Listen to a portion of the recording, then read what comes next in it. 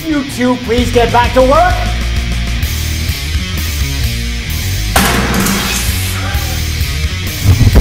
Could you please hurry up? I'm a little late for work.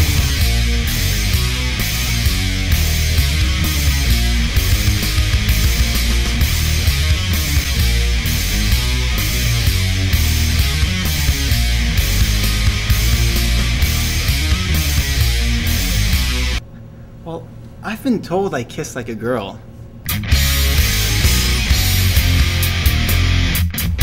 We should smoke a joint. Who taught you how to drive anyway? Oh god.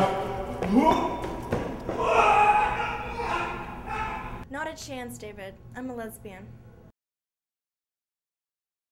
Well, who was the loser you were dating? Does he know? I was in denial.